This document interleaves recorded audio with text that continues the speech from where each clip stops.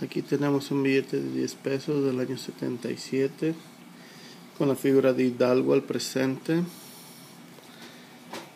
Y mira, una campana.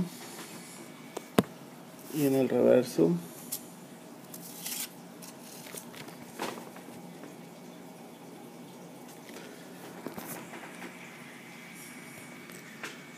tenemos a Dolores Hidalgo.